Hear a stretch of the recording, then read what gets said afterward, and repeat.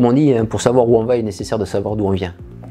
Donc la première chose à faire lorsqu'on veut moderniser son système d'information, c'est de le cartographier. Être capable d'identifier euh, quels, sont les, euh, quels sont les blocs en termes de services qui sont dans mon système d'information, quel service est rendu, euh, sur quelle euh, plateforme ça s'appuie et en dessous sur quel composant d'infrastructure ça s'appuie. Et une fois qu'on a cartographié tout cela, donc identifier quels sont les blocs ou quartiers aussi on utilise, qui sont éligibles à de la modernisation. Tout n'est pas forcément modernisable dans son système d'information. Et puis on n'a pas peut-être pas intérêt de tout moderniser. Si j'ai une application qui tourne depuis des années, qui fonctionne très bien, sur laquelle j'ai très peu de maintenance et qui rend un service parfait, bah, c'est bon, elle, je ne vais pas la toucher. Par contre, une application qui va m'améliorer ma compétitivité, qui va me réduire mon temps de traitement dans, mes processus, bon, mais celle-là, je vais commencer à regarder de quelle manière je vais pouvoir la moderniser. Il n'y a que si j'ai fait la cartographie avant que je vais être capable d'analyser toutes les dépendances.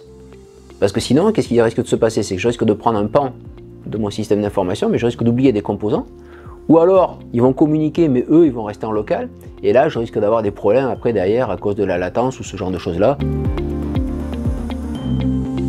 Être capable de savoir combien ça coûte par rapport au service que ça rend. qui dit moderniser dit euh, forcément aussi euh, moderniser l'équipe. Il ne faut pas attendre euh, la partie run pour penser à la formation. Il va falloir forcément faire monter en compétence les équipes. C'est pas parce que je vais dans le cloud que je vais diminuer mes ressources je vais avoir toujours autant besoin de, monde pour opérer, simplement les, les, métiers sont plus les mêmes. Et donc une anticipation par rapport, euh, par rapport à cette équipe-là qui, elle, va être en charge de l'exploitation.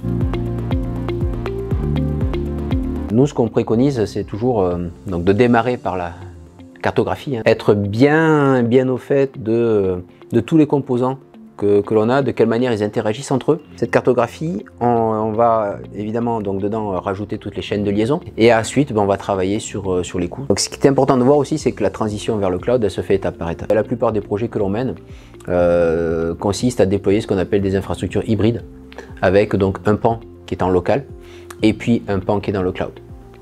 Et euh, ces infrastructures-là ben, vont communiquer entre elles. Et petit à petit, comme ça, on va envisager de soit déplacer des ressources.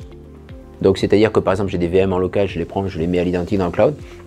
Soit j'en profite pour faire de la modernisation au passage.